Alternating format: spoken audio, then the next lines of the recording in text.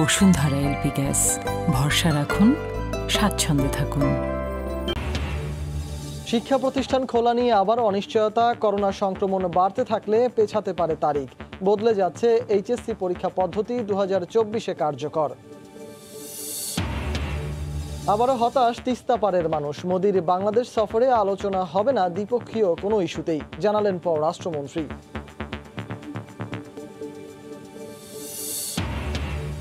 সতেরো মার্চ থেকে টানা দশ দিন বিকেলে রাজধানীর প্যারেড গ্রাউন্ডে মুজিব শতবর্ষের অনুষ্ঠান। থাকবেন বিদেশি সরকার ও রাষ্ট্রপ্রধান। সর্বোচ্চ পাঁচশো অতিথি সমাগমের আয়োজন। নির্দলীয় সরকারের অধীনে নির্বাচনের দাবিতে সবাইকে এক হওয়ার আহ্বান মির্জা ফখরুলের। কোনো ইস্যু না পেয়ে ঠুনকো বিষয়ে আন্দোলনে বিএনপি। মন্তব্য ওবায়দুল কাদেরের।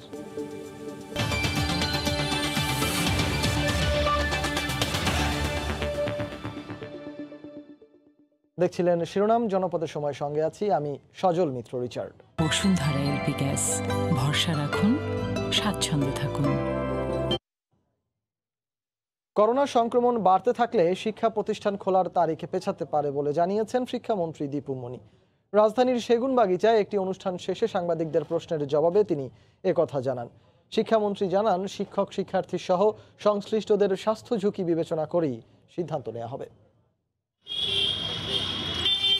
করোনা সংক্রমণের কারণে এক বছরেরও বেশি সময় বন্ধ থাকার পর ত্রিশে মার্চ থেকে স্কুল কলেজ খোলার সিদ্ধান্ত নেয় সরকার। হাতে রয়েছে আর মাত্র উনিশ দিন। এরই মধ্যে শুরু হয়েছে খোলার প্রস্তুতি। তারই অংশ হিসেবে শিক্ষকদের অগ্রাধিকার ভিত্তিতে কোভিড টিকা দেওয়ারও সিদ্ধান্ত হয়। কিন্তু গত কয়েকদিনে করোনার সংক্রমণ আবার বেড়ে যাওয়ায় স্কুল কলেজ খোলা নিয়ে অনিশ্চয়তা দেখা দিয়েছে। শুক্রবার রাজধানীর সেগুনবাগিচায় একটি অনুষ্ঠান শেষে সাংবাদিকদের প্রশ্নের জবাবে শিক্ষামন্ত্রী জানান, সংক্রমণ এভাবে বাড়তে থাকলে স্কুল, কলেজ খোলার তারিখ পেছানো হতে পারে।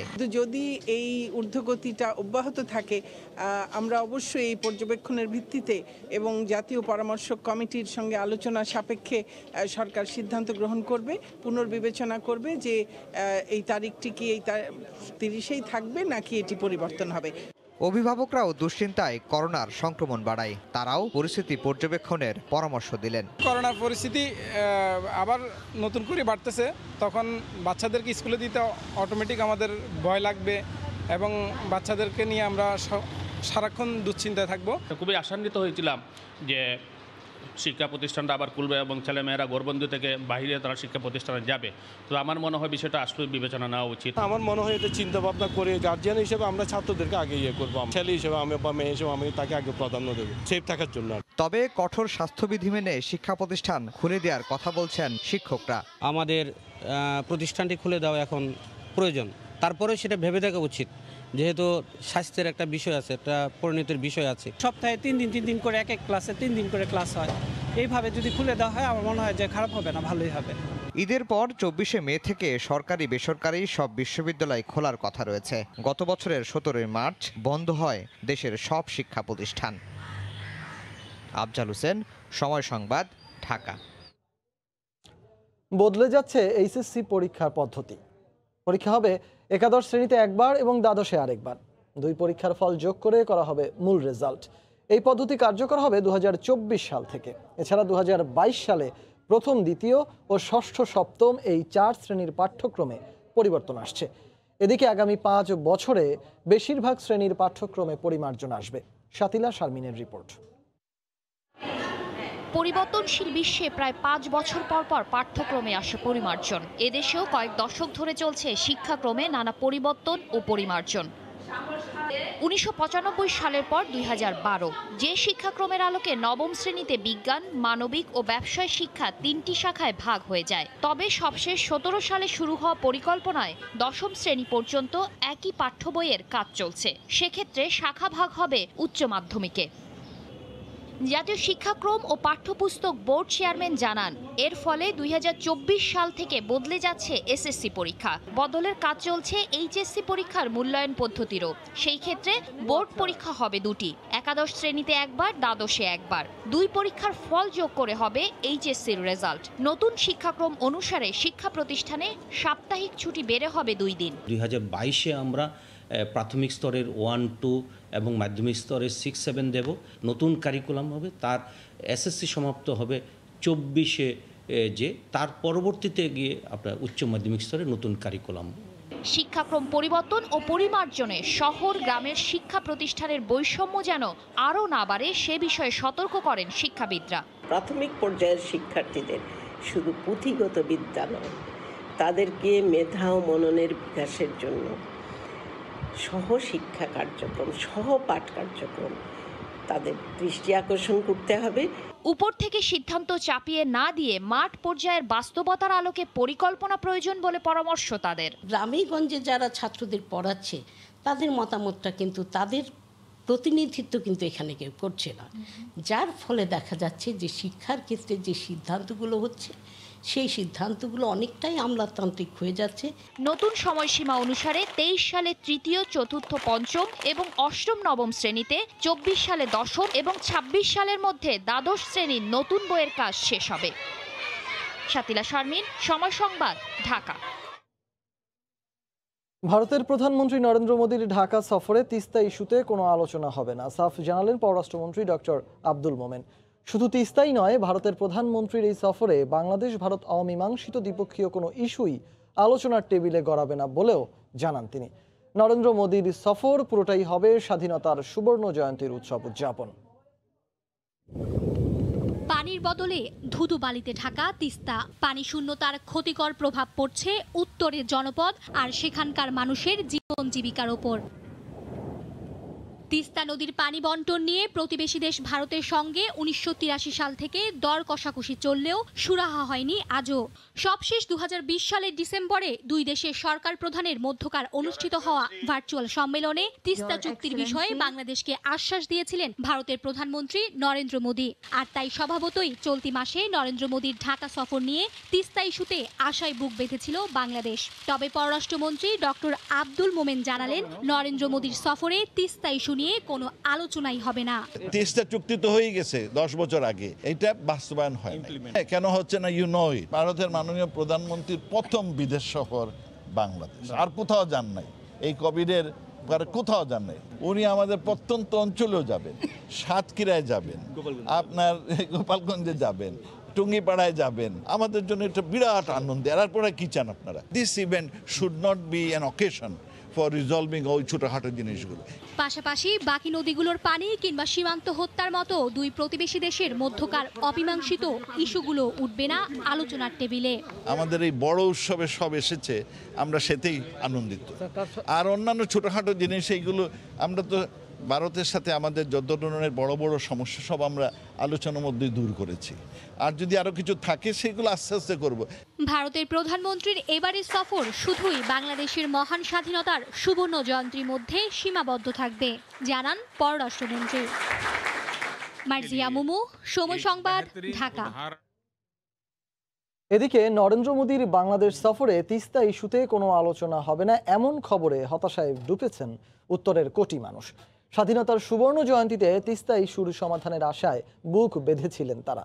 রতন সরকারের রিপোর্ট আর ছবি তুলেছেন তারিকুল ইসলাম।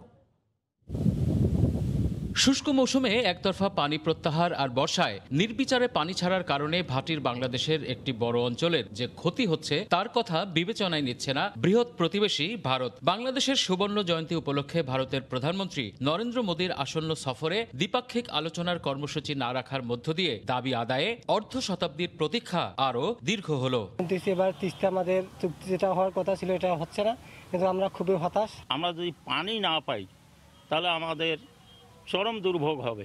ভারতের বিরুদ্ধে ভৌগোলিকভাবে পাওয়া উজানের নিয়ন্ত্রণ ক্ষমতা প্রয়োগের অভিযোগ করছেন নদী আন্দোলনের নেতারা। তিস্তায় আমাদের ন্যায্য অধিকার ভিত্তিক পানি না পাওয়ার কারণে বর্ষা মৌসুমে এবং শুষ্ক মৌসুমে দুই মৌসুমেই তিস্তা পাড়ের মানুষের ভোগান্তির কোনো অন্ত থাকে না।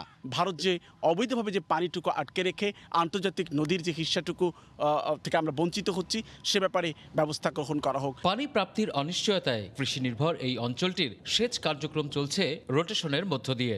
তিস্তা চুক্তি না হওয়ার কারণে খরাকালে তিস্তাটা একটা প্রবাহ মরে যাচ্ছে। তিস্তার বুকটা পেটটা বালুতে উঁচু হয়ে যাচ্ছে। তিস্তা চুক্তি হলে আমাদের এই এলাকার মানচিত্র পরিবর্তন হয়ে যাবে এবং আমরা আশা করি আমরা আবেদনও করি যে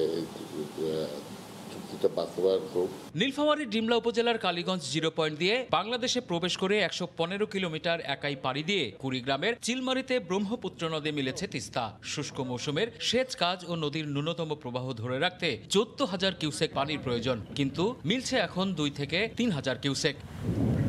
রতন সরকার, সময় সংবাদ, রংপুর। জনপদের সময় আরও থাকছে। নোয়াখালীর কোম্পানিগঞ্জে এখনও থমথমে অবস্থা। আতঙ্কে স্থানীয়রা। গ্রেফতার সাবেক উপজেলা চেয়ারম্যান বাদল কারাগারে। সতেরোই মার্চ থেকে ছাব্বিশে মার্চ টানা দশ দিন প্রতিদিন বিকেলে রাজধানীর প্যারেড গ্রাউন্ডে আলাদা থিমে হবে মুজিব শতবর্ষের অনুষ্ঠান। সরাসরি থাকবেন পাঁচ দেশের সরকার ও রাষ্ট্রপ্রধানগণ। সর্বোচ্চ পাঁচশো অতিথি অংশ নিতে পারবেন এই অনুষ্ঠানে। করোনার নেগেটিভ সনদ ছাড়া অংশ নেওয়া যাবে না কোনো অনুষ্ঠানে। বিকেলে আন্তর্জাতিক মাতৃভাষা ইনস্টিটিউটের সংবাদ সম্মেলনে এ তথ্য জানায় আয়োজক কমিটি। কথা ছিল এক বছর আগেই সাড়ম্বরে জাতি উদযাপন করবে স্বাধীন দেশের স্থপতি বঙ্গবন্ধু শেখ মুজিবুর রহমানের জন্মশতবার্ষিকী। সব ঠিক থাকলেও মহামারীর বাস্তবতায় রেকর্ডেড অনুষ্ঠানের মাধ্যমে ভার্চুয়াল আনুষ্ঠানিকতায় সীমাবদ্ধ ছিল এই আয়োজন। অবশেষে নিয়ন্ত্রিত করোনা পরিস্থিতি বিবেচনায় নিয়ে সতেরোই মার্চ থেকে ২৬ মার্চ পর্যন্ত টানা দশ দিনের অনুষ্ঠানমালা শুরু করতে যাচ্ছে সরকার। শুক্রবার বিকেলে আন্তর্জাতিক মাতৃভাষা ইনস্টিটিউটে এ নিয়ে সংবাদ সম্মেলনের আয়োজন করে মুজিব শতবর্ষ উদযাপন জাতীয় বাস্তবায়ন কমিটি। দক্ষিণ কোরিয়ার জানানো হয় দশ দিনে ভিন্ন ভিন্ন থিমে হবে অনুষ্ঠান। জাতির পিতাকে সম্মান জানাতে তার জীবনী নির্ভর কর্মকাণ্ডে মুজিব চিরন্তন শিরোনামে পাঁচ দিন সরাসরি ও বাকি দিনগুলোতে জাতীয় প্যারেড গ্রাউন্ড থেকে ভার্চুয়ালি এই অনুষ্ঠান পরিবেশিত হবে বলে জানান এই আয়োজনের প্রধান সমন্বয়ক। যেদিন কোনো ফিজিক্যালি কেউ উপস্থিত থাকবেন না, বাইরের কোনো রাষ্ট্র প্রধান বা আমাদের মাননীয় প্রধানমন্ত্রী, তো সেদিনের প্রোগ্রামটা আমরা আসলে সরাসরি সেখান থেকে আমরা একটা রেকর্ডেড আকারে আসলে সম্প্রচার করব। জানা গেছে, সতেরোই মার্চ থেকে ২৬ মার্চ পর্যন্ত পাঁচ দেশের সরকার ও রাষ্ট্রপ্রধানগণ সশরীরে উপস্থিত থাকবেন আয়োজনে। সতেরোই মার্চ মালদ্বীপের প্রেসিডেন্ট ১৯ মার্চ শ্রীলঙ্কার প্রধানমন্ত্রী ২২ মার্চ নেপালের রাষ্ট্রপতি, চব্বিশে মার্চ ভুটানের প্রধানমন্ত্রী এবং ছাব্বিশে মার্চ ভারতের প্রধানমন্ত্রী উপস্থিত থাকবেন। এছাড়া ভিডিও বার্তা দেবেন ফ্রান্স, কানাডা, জাপান সহ বিভিন্ন দেশের প্রধানমন্ত্রীরা। তো এবারে আমরা সবাইকে সম্পৃক্ত করব, কিন্তু সেই সম্পৃক্তটা হবে সারা বাংলাদেশে, কিন্তু এলইডি বা অন্যান্য মাধ্যমে মানুষ দেখতে পারবে, টেলিভিশনে দেখতে পারবে। অন্যান্য মাধ্যমে দেখতে পারবে এবং সোশ্যাল মিডিয়াগুলোতে আমরা সেভাবে সম্প্রচার করব। অনুষ্ঠানস্থলে সর্বোচ্চ পাঁচশো অতিথি উপস্থিত থাকবেন জানিয়ে আয়োজকরা জানান ছাব্বিশে মার্চ উন্মোচন করা হবে স্বাধীনতার সুবর্ণ জয়ন্তীর লোগো সুবর্ণ জয়ন্তীর লোগো উন্মোচন হবে। আমরা চেষ্টাও করছি যে সুবর্ণ জয়ন্তীর একটা থিম সঙ্গ তৈরি করতে এবং আমি আশা করছি যে সেটিও হয়তো সেদিন পরিবেশিত হবে। মহামারীর সতর্কতায় অনুষ্ঠানে অংশ নিতে সবাইকে কোভিড উনিশের নেগেটিভ সনদ নিয়ে অনুষ্ঠান স্থলে উপস্থিত থাকার বাধ্যবাধকতার কথাও উল্লেখ করেন আয়োজকরা। প্রত্যেককে কোভিড টেস্ট করে যেতে হবে। দেবাশিস রায় সময় সংবাদ ঢাকা। তেইশ এপ্রিল প্রথম কোচ আসার পরই চূড়ান্ত হবে মেট্রো রেলের উত্তরা মতিঝিল অংশ উদ্বোধনের দিনক্ষণ। তবে এক্ষেত্রে চলতি বছরের ডিসেম্বর থেকে তা পেছানোর ইঙ্গিত দিল মেট্রো রেল কর্তৃপক্ষ। এদিকে ফেব্রুয়ারি শেষে পুরো প্রকল্পের সার্বিক অগ্রগতি আটান্ন দশমিক সাত দুই শতাংশ। এমআরটিএ লাইন সিক্সের আওতায় উত্তরা থেকে মতিঝিল অংশের আনুষ্ঠানিক চালুর কথা চলতি বছর ডিসেম্বরে। সেই লক্ষ্যে এরই মধ্যে ভায়াডাক্টে যুক্ত উত্তরা থেকে আগারগাঁও। এই অংশের কাজের অগ্রগতি একাশি দশমিক সাত দুই শতাংশ। আর দ্বিতীয় অংশ, অর্থাৎ আগারগাঁও থেকে মতিঝিলে, কাজের অগ্রগতি চুয়ান্ন দশমিক ছয় এক ভাগ। ইলেকট্রিক ও মেকানিক্যাল কাজে গিয়েছে উনপঞ্চাশ শতাংশ, সার্বিক অগ্রগতি একাশি দশমিক চার দুই শতাংশ।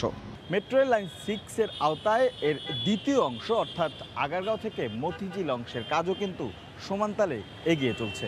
ফার্মগেট এলাকায় আসলে দেখা যাবে খামারবাড়ি থেকে একদম ফার্ম গেট পর্যন্ত পুরো লাইনে এরই মধ্যে ভায়াডাক্টও বসে গেছে। যদিও এরই মধ্যে দ্বিতীয় অংশের মতিঝিল পর্যন্ত বসেছে প্রায় সবগুলো পিলার। অনেক জায়গায় চলছে ভায়াডাক বসানোর কাজ। সার্বিক গড় অগ্রগতি আটান্ন পয়েন্ট বাহাত্তর পার্সেন্ট আমাদের বিশ দশমিক দশ কিলোমিটার ভায়াডাক নির্মাণ করার কথা। তার ভিতরে ইতিমধ্যে তেরো দশমিক দুই সাত পার্সেন্ট ভায়াডাক নির্মাণ সম্পন্ন হয়েছে। এখন আমরা যেই উদ্যোগটা আমরা নিয়েছি যে প্রথম পর্যায়ে যেখানে শেষ হয়েছে তার সাথে দ্বিতীয় পর্যায়ের যে ভায়াডাক তার সংযোগ স্থাপন করা।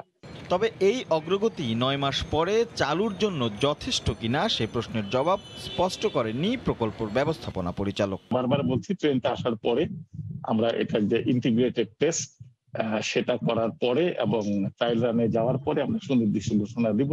এই মুহূর্তে আমরা এই বিষয়ে কোনো কথা বলছি না। চৌঠা মার্চ জাপান থেকে জাহাজ যোগে রওনা করে দেশের প্রথম মেট্রো রেলের কোচ। রাশিদ লিমন সময় সংবাদ ঢাকা। নির্দলীয় সরকারের অধীনে নির্বাচনের দাবিতে সবাইকে ঐক্যবদ্ধ হওয়ার আহ্বান জানিয়েছেন বিএনপি মহাসচিব মির্জা ফখরুল ইসলাম আলমগীর। সকালে রাজধানীতে কৃষক দলের চতুর্থ সম্মেলনে তিনি এই আহ্বান জানান। বর্তমান সরকার আইন শৃঙ্খলা রক্ষা বাহিনীকে ঢাল হিসেবে ব্যবহার করে ক্ষমতায় টিকে আছে বলেও মন্তব্য করেন বিএনপি মহাসচিব। এই সরকার লুটেরা সরকারে পরিণত হয়েছে। বিনা ভোটে তো নির্বাচিত হয়েছেই, নিজেদেরকে ঘোষণা করেছে নির্বাচিত। জোর করে বন্দুকের জোরে রাষ্ট্রযন্ত্রকে ব্যবহার করে তারা ক্ষমতায় টিকে আছে।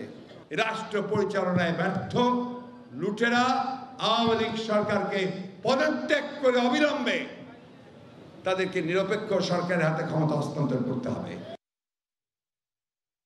বিএনপির নির্দলীয় সরকারের দাবিকে অবান্তর বলে মন্তব্য করেছেন আওয়ামী লীগ সাধারণ সম্পাদক ওবায়দুল কাদের।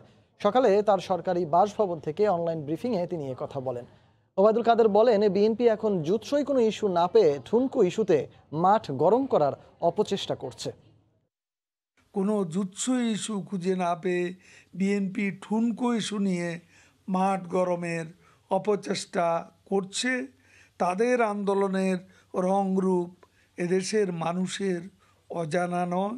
বিএনপি নেতারা দলীয় নিরপেক্ষ সরকারের অধীনে নির্বাচন দাবি করছে। এখন তারা আবারও তত্ত্বাবধায়ক সরকারের পুরানো গান গাইতে শুরু করেছে। তত্ত্বাবধায়ক সরকারের ধারণা অবান্তর। জনপদের সময় আরও থাকছে। নারায়ণগঞ্জে সিটি ইকোনমিক জোনে বিশ্বের সবচেয়ে বড় ফ্লাওয়ার মিলের যাত্রা শুরু। পণ্য উৎপাদন থেকে পরিবহন সবই হবে স্বয়ংক্রিয়ভাবে। কর্মসংস্থান হয়েছে দেড় হাজার।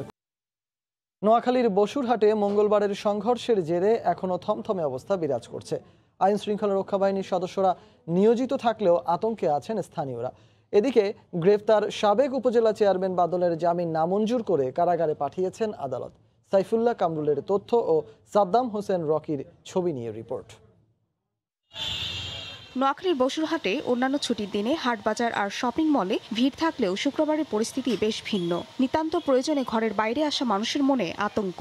দুই পক্ষ কোন দলের কারণে বহিরাগত সন্ত্রাসীরা আসে হামলা করতেছে? এই চারজন লোককে ডাকি যদি উনি যে একটু মিটমাট করি দেয় আমার মনে হয় এই ধরনের সমস্যাটা তার থাকবে না। প্রভাব পড়েছে স্থানীয় ব্যবসা বাণিজ্য সহ সব ক্ষেত্রে। রাজনৈতিক দ্বন্দ্বের জের জনজীবনে কাম্য নয় বলে দাবি করে স্থানীয়রা বলছেন গত আড়াই মাস ধরে রাজনৈতিক বিরোধের জের ধরে পুরো উপজেলা জুড়ে এমন পরিস্থিতি।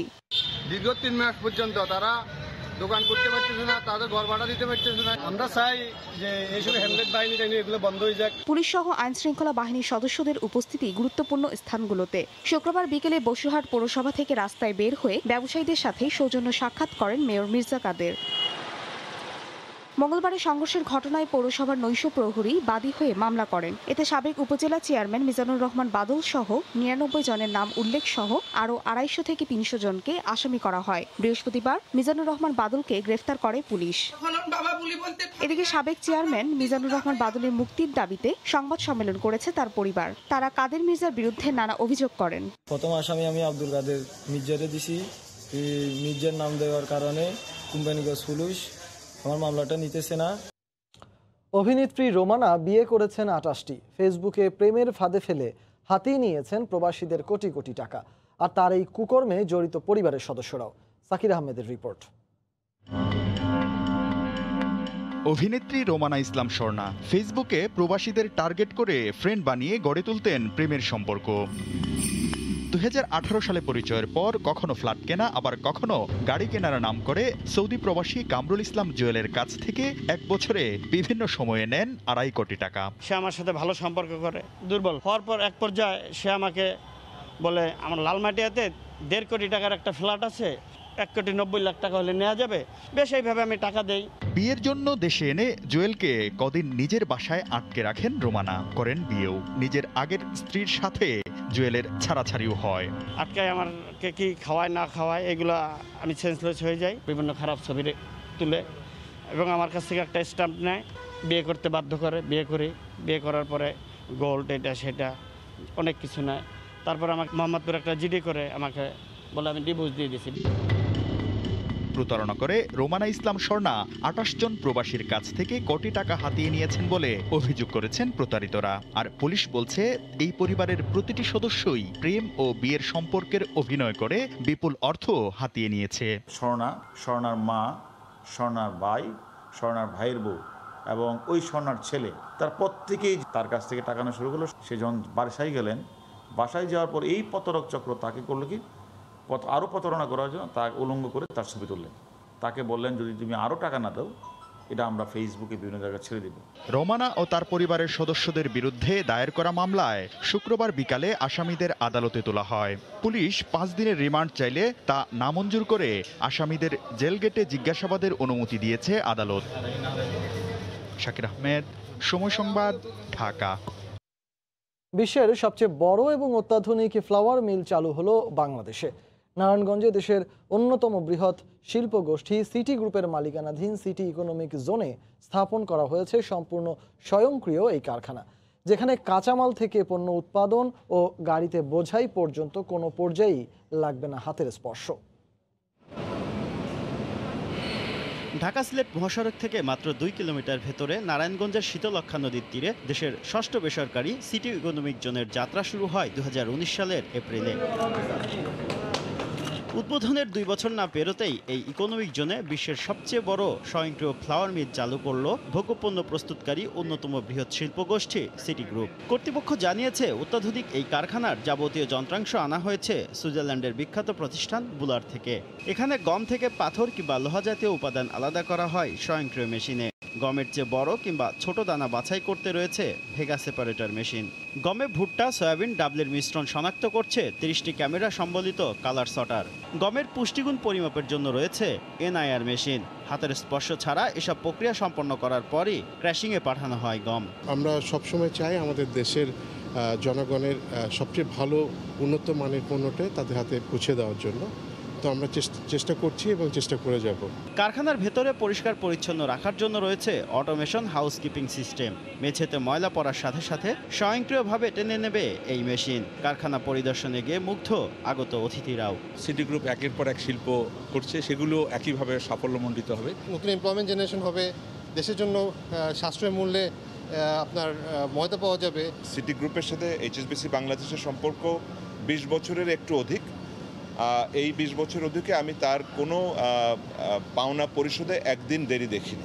কারখানাটিতে অন্তত ছয়শো নারী কর্মী কাজের সুযোগ পাচ্ছে বলে জানিয়েছে সিটি গ্রুপ। প্রধানমন্ত্রীর নির্দেশে আজকে একশো ইকোনমি জোন বাংলাদেশে বিভিন্ন জায়গায় স্থাপন হবে কর্মসংস্থান হবে শিল্পনগরী গইরা তুলবে। ওর একটা অংশে আমরা আছি করোনাকালে বড় বিনিয়োগের জন্য সিটি গ্রুপকে ধন্যবাদ জানান বেজার নির্বাহী চেয়ারম্যান এবং বস্ত্র ও পাট মন্ত্রী ভবিষ্যৎ যে দূরদর্শিতা সেটাকে আবার প্রমাণ করল যে করোনার মধ্যেও এই ধরনের ইন্ডাস্ট্রি উৎপাদনে আসতে পারে। বাংলাদেশ যে উন্নত বিশ্বে যাবে একচল্লিশ সালে সেই একচল্লিশ সালে এগিয়ে যাওয়ার জন্য এগুলিই পাথেয়। প্রায় আটাত্তর একর জায়গার উপর স্থাপিত সিটি ইকোনমিক জোনে ভোজ্য তেল আটা ময়দা সুজি সহ বিভিন্ন ভোগ্যপণ্য উৎপাদিত হচ্ছে। শুভ খান সময় সংবাদ নারায়ণগঞ্জ। সাপ্তাহিক ছুটির দিনে কক্সবাজারে পর্যটকের ঢল। হোটেল মোটেলেও জমজমাট ব্যবসা, তবে স্বাস্থ্যবিধির নেই কোনো বালাই, আরও জানাচ্ছেন সুজাউদ্দিন রুবেল। দৃষ্টির সীমা ছাড়ানো সৈকত আর উছলে পড়া প্রাকৃতিক সৌন্দর্য, যেখানে গর্জন তোলা ঢেউ, হাতছানি দেয় সৌন্দর্য পিপাসুদের। সাপ্তাহিক ছুটির দিনে পর্যটকদের গন্তব্য এখন সমুদ্র সৈকত কক্সবাজার। তবে প্রশ্ন উঠেছে করোনা উপেক্ষা করে সমুদ্রের ঢেউ উপভোগকারীরা কতটা সচেতন? পানিতে নেমে তো আর মাস্কটা ইউজ করা পসিবল না। তো পানিতে যখন নামছি তখন মাছটা আমাকে রেখেই নামতে হয়েছে আমি মাছ পড়ছি যেহেতু হারিয়ে গেছে তো এখন পড়ব আবার নেই। এখন পরিস্থিতিটা আমরা স্বাভাবিক মনে করতেছি এই জন্য আসলে আমাদের এখন মনের শক্তিটাই বড় শক্তি হয়ে গেছে। প্রশাসনিক যে লোকগুলো আছে এরা তো কোনো নির্দেশনা দিচ্ছেও না। বরং পাবলিকেরা এগুলা মান- মানার চেষ্টা করতেছে না। স্বাস্থ্যবিধি মানতে যেমন পর্যটকদের অনীহা ঠিক তেমনি প্রশাসনের পক্ষ থেকে পর্যটন ব্যবসায়ীদের নানা বিধিনিষেধ দিলেও তা মানছেন না ব্যবসায়ীরা। দিচ্ছেন নানা অজুহাত। আশা করি আমাদের বাংলাদেশে করোনা নাই চলে। এই জন্য আমরা এইটা করোনার বই ভীতি এখন চলে গেছে। মাঝে মধ্যে পড়া যায় না হয়তো এরকম এমনি আছে ভিতরে রাখি মাস্ক পরি আর প্রবেশদ্বারে মাইক ও সাইনবোর্ড টাঙিয়ে দায়িত্ব শেষ প্রশাসনের সৈকতে নেই কোনো সচেতনতামূলক প্রচার প্রচারণা। তবে ট্যুরিস্ট পুলিশ বলছে মাস্ক ছাড়া সমুদ্র সৈকতে পর্যটকদের ঢুকতে বাধা দিলে বিরক্ত হন তারা। করোনা পরিস্থিতিতে আমরা মাইকিং করি মাস্ক পরিহিত অবস্থায় মানে বিচে প্রবেশ করার জন্য। এক্ষেত্রে দেখা যায় অনেকে মানে অনেকে মানে না। তারপর আমরা আমাদের দায়িত্ব পালন করে থাকি। করোনায় গত মার্চ থেকে আগস্ট পর্যন্ত বন্ধ ছিল কক্সবাজারের সমুদ্র সৈকতে পর্যটকদের প্রবেশ। এরপর পুরোদমে আনাগুনা বাড়লেও খুব একটা গুরুত্ব পাচ্ছে না স্বাস্থ্যবিধি। সুজাউদ্দিন রুবেল সময় সংবাদ কক্সবাজার। জানিয়ে দিচ্ছি জনপদের সময় শিরোনামগুলো। শিক্ষা প্রতিষ্ঠান খোলা নিয়ে আবার অনিশ্চয়তা, করোনা সংক্রমণ বাড়তে থাকলে পেছাতে পারে তারিখ। বদলে যাচ্ছে এইচএসসি পরীক্ষা পদ্ধতি দু হাজার চব্বিশে কার্যকর। আবারও হতাশ, তিস্তা পারের মানুষ। মোদির বাংলাদেশ সফরে আলোচনা হবে না, দ্বিপক্ষীয় কোনো ইস্যুতেই, জানালেন পররাষ্ট্রমন্ত্রী।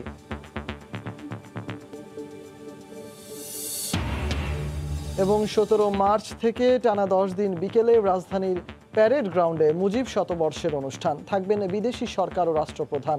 সর্বোচ্চ পাঁচশো অতিথি সমাগমের আয়োজন। এই ছিল এখনকার মতো, আর সঙ্গে থাকুন সময়ের।